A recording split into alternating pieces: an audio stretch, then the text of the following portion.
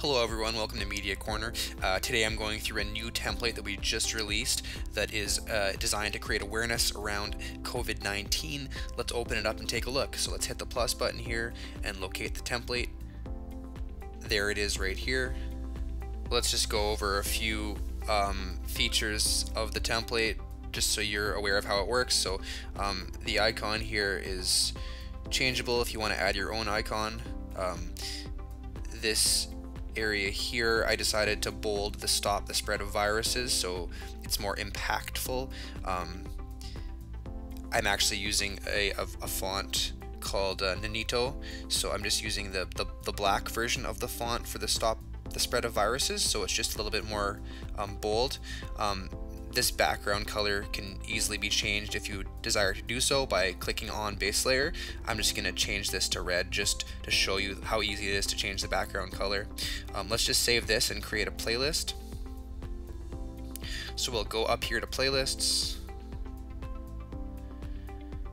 And once we're in the screen here, we'll uh, click the plus button. And let's add our media item hit the plus button here and locate the media item in the tray, select it and click add. Alright, now that that's added, let's add this playlist to one of our devices. So we'll go up to hardware here and go down and click the plus button and select the device that you want to publish your playlist to. And uh, I'm going to uh, use a different layout. So let's just open up layouts and see what looks good. Think the text might be too big on this one, so um, I will try this one and see how it looks. I like the look of that. Alright, let's uh, choose a different theme now. So we'll go, go down to theme here and uh, pick one. That one looks nice, so it's time to save now.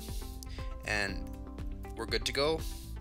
Uh, thanks for watching uh, Media Corner, everybody. Um, good luck with it all.